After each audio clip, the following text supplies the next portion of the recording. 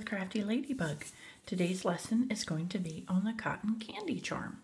For the cotton candy charm here that I'm demoing today, you will need 10 white rubber bands, 9 rubber bands for the inside construction of your cotton candy, and 56 bands in the color of your choice to make the fluffy stuff on the outside. This is the standard one. This is what I would call a deluxe model. If you decided to do the deluxe model, it is a little bit fuller, actually a lot fuller, and it takes double the amount of rubber bands. So instead of using 56 rubber bands in pink or whatever color, you would do 56 rubber bands in one color and 56 rubber bands in another color. Before we begin this project, I'd like for you guys to take your fluffy color, whatever color you're using for the fluff. Today I'm using purple, so my cotton candy is going to be grape, grape flavor today. I want you guys to make 14 piles. I'm sorry, yeah, 14 piles of four rubber bands. So just gather up four rubber bands and set them beside your work area, as I have over here. Set them beside your work area in little piles. Our loom is going to be set in the offset configuration with the arrows pointing towards our body. And we're going to begin. To begin, I'd like for you to take one of your bands that you're using for the inside color. Today I'm using pink just so it shows up better on video. Pink and let it dangle over your center peg right here. You want to take an additional four bands. You want to take four of your purple bands and you want to lay it on that center peg also. Then you want to take a single pink, one pink, and run it from center one to center two. A single pink and run it from center one to left one a single pink and run it from center one to right one. Let me turn a little bit more light on there for you guys. Four additional bands and lay it on each of these three pegs. So there's four pegs on left one.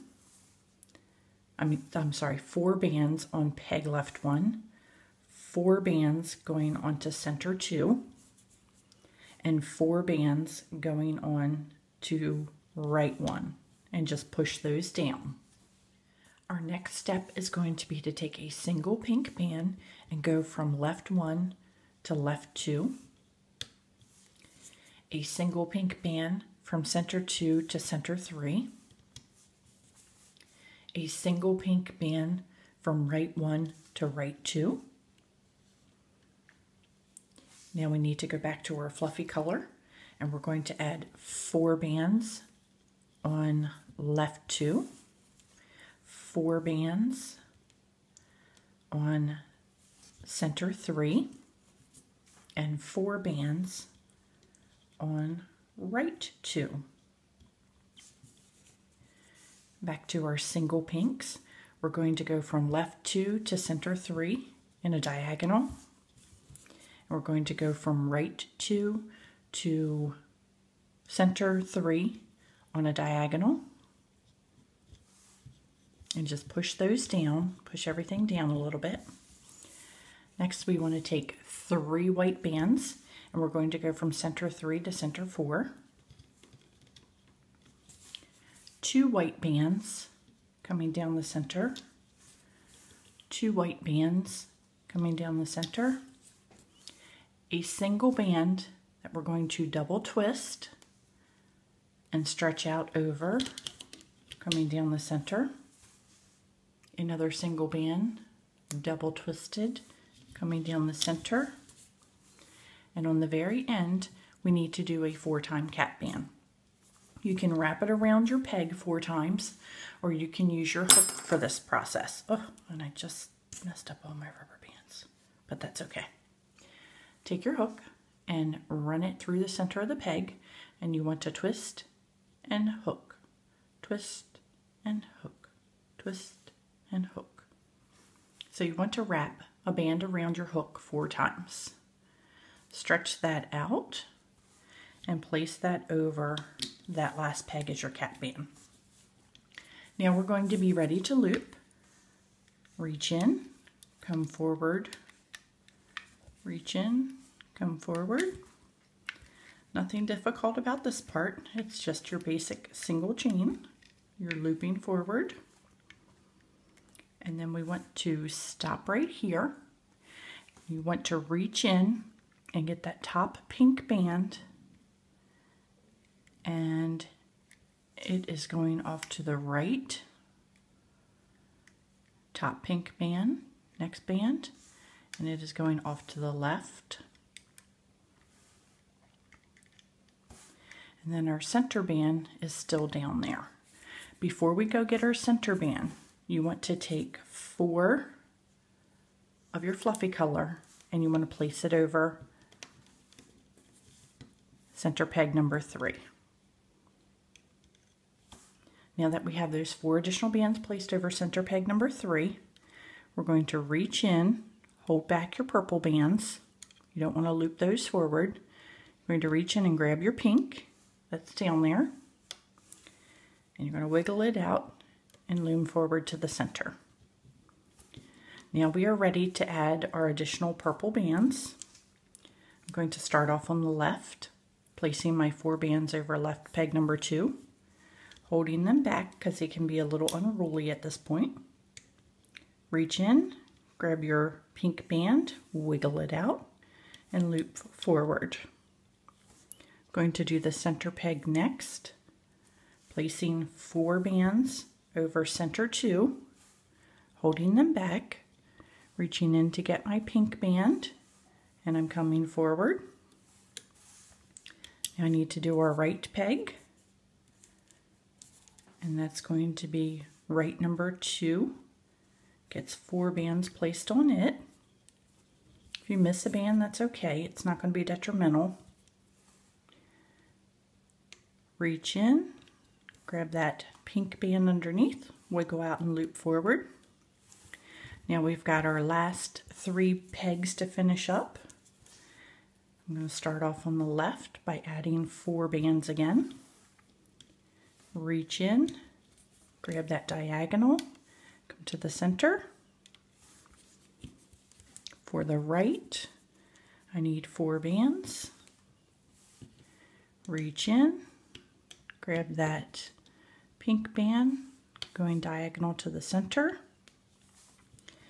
And here we have the center one that we need to do. And somewhere I added an extra band. It's not a big deal. You should be adding four, but I'm only adding three at the current moment. Somewhere I added an extra band in there. So just place your bands that you have left on that top center peg. Hold them back with your thumb and we need to reach in and we need to get that pink dangle band that's way down there at the bottom. So reach in through all of that stuff, pushing it back with your hook, and you want to grab that pink dangle band that's at the very end you want to pull it up and through, wiggle it out.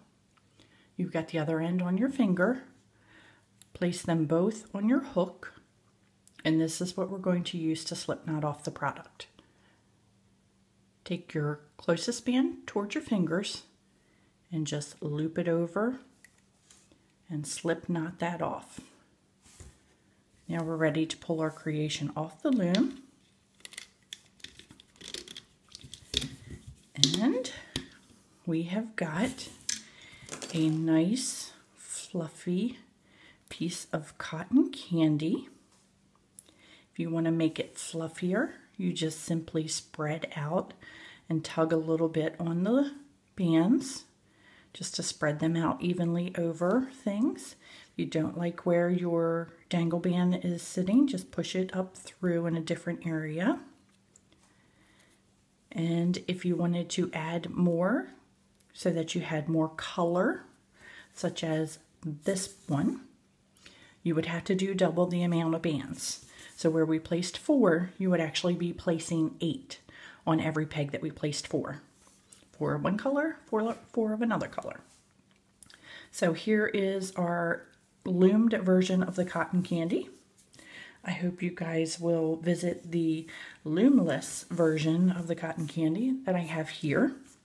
And some other fun products that I have for the summertime theme is popcorn in a little bucket.